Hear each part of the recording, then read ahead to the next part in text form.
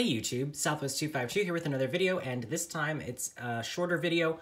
Uh, I have the second release, uh, part of the October 2020 releases by Gemini Jets of the American Boeing 7879. Before I get into that, this video's shoutout is going to SeaTac Aviation HD over on Instagram.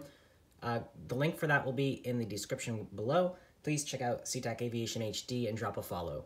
And also, I would really appreciate it if you checked out my Instagram. The link for that will be also in the description below. So this is the brand new release of the American 7879. I'm not going to be doing a full review of it because I have done it already uh, in a similar style to this, uh, how I do reviews today.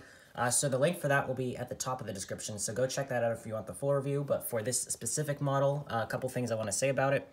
Uh, the coloring is just very slightly off. It's not perfect, um, but it is definitely better than most of the Gemini Jets releases from this year for American Airlines. Uh, so it's not really that bad. It's just a very slightly too dark. Um, it is in the old mold. They have gone back to it, so the wing flex is there, and the wing is super thick. That's not realistic. I wish they would have stuck to the JC mold.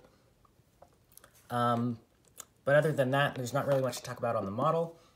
Uh, just a couple little things. Uh, you might want to pause and read everything on the inside flap. Uh, specifications about this aircraft. Uh, the registration of this model is November 825 Alpha Alpha. And the item number for this one is GJAAL1868, uh, 2020 Gemini Jets release. Officially licensed Boeing, Ameri Boeing and American Airlines product. Uh, pretty much the same as the other release box. Uh, but yeah, once again, there's not really much to go over with this one. The link for the other review is in the description below, so please go check that out. Uh, this model, uh, because of the coloring, uh, it'll get a score of 29.5 out of 30. So that's going to be it for this video. Thank you very much for watching. If you enjoyed the video, please hit that like button down below and consider subscribing. I'm almost at 1,900 subscribers, so if you could please get me there soon, I would really appreciate that. And also, I'd appreciate it if you could check out my Instagram. The link for that will be in the description below. Thanks again for watching. Bye.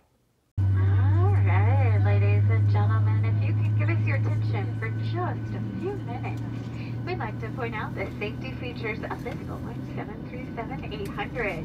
To fasten your seatbelt, slide that flat metal end into the buckle. To release, lift up on the buckle. Position the belt low and